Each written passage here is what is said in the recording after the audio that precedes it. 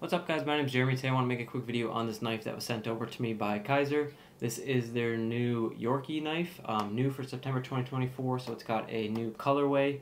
Uh, this is a 2.57 inch knife.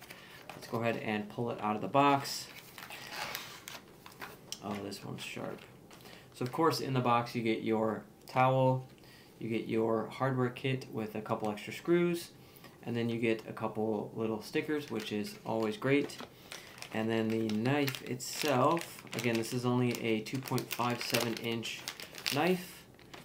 And here it is. It's got this nice orange, uh, the nice orange scales on it. There is the blade.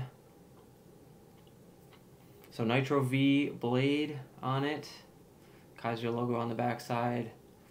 Pocket clip here and then this is a uh, you know a lock that's underneath like that. No thumb studs but you do have the uh, fin I call it like a shark fin on the back to flip the knife open. Really nice action on it. Um, feels really really good and solid. I love this color. Looks super sharp. So new color for September 2024 um, yeah so what it looks like